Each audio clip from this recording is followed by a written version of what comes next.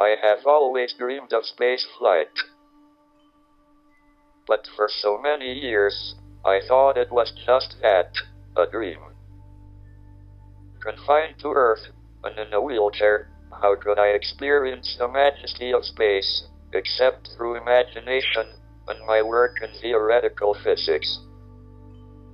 I never thought I would have the opportunity to see our beautiful planet from space, or gaze outward into the infinity beyond.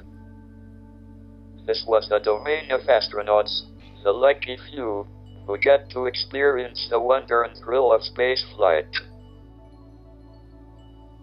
But I had reckoned without the dream of another, a man with a vision and persistence, to open up space flight for ordinary earthbound citizens. Richard Branson made it his mission to make space flight a reality for those intrepid enough to venture beyond the boundaries of the Earth's atmosphere. Even so, I did not foresee that I would be among the early passengers bound for this extraordinary experience. I have had ALS for over 50 years now, and while I have no fear of adventure, others do not always take the same view.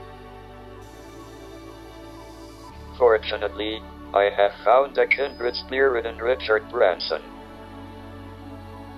In a radio interview, I once confessed that my ultimate ambition was to fly into space, but I thought no one would take me.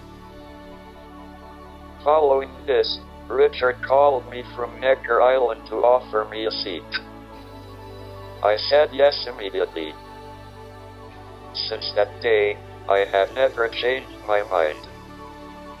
If I am able to go, and if Richard will still take me, I would be very proud to fly on this spaceship. I have long been an enthusiastic supporter of human spaceflight, and in particular, efforts aimed at making this enormous human achievement more accessible. The first private astronauts will be pioneers.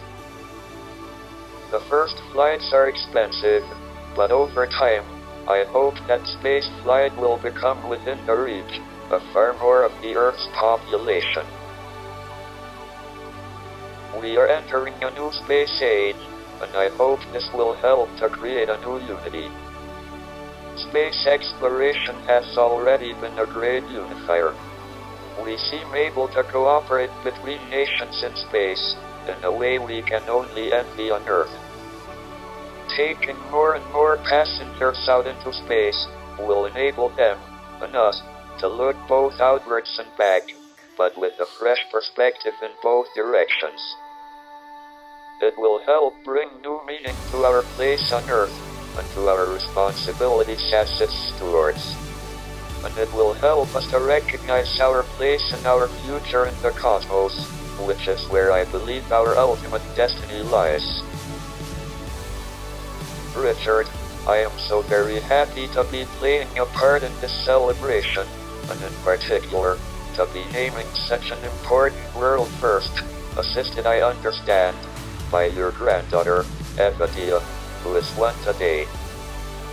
It is my hope that she and her generation will look back on our efforts and recognize that by opening up space, we help to change the world for good.